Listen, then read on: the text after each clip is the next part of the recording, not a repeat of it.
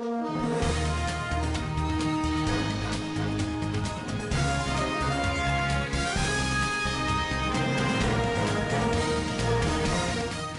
estimated 600 kilograms of beef were allegedly confiscated and destroyed by ZRP Gutu on Thursday, the day of the Citizens Coalition for Change CCC Ward 6 victory celebrations, when party leader Nelson Chamisa was scheduled to speak.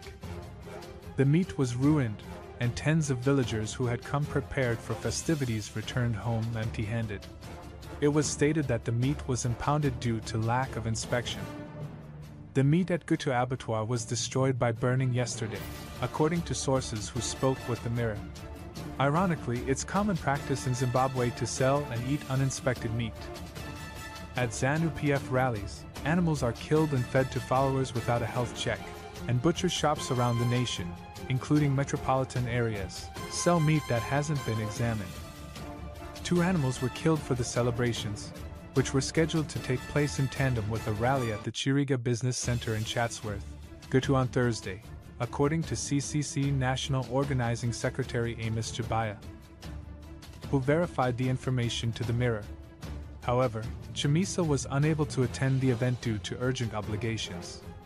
After the meat was impounded, supporters who had come ready to celebrate left empty handed.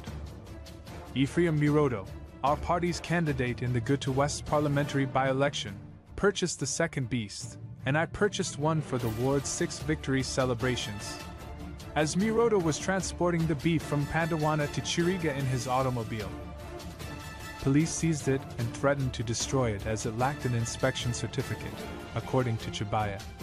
The sole rural council seat in Gutu district to be officially declared won by the CCC is Ward 6 which is located in Gutu West. The election was widely denounced as fraudulent by SADC and the world community.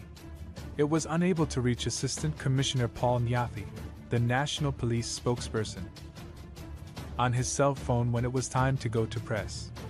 According to Mirodo, ZANU PF shouldn't utilize the police. Political parties should not use governmental institutions, he argued.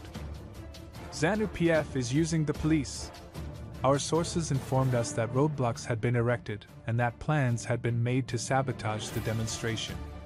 He stated, speaking to supporters, Chibaya told the villages that their vote would remain confidential and asked them not to be forced into voting assistance. We implore you to vote without assistance. Your secret is how you vote.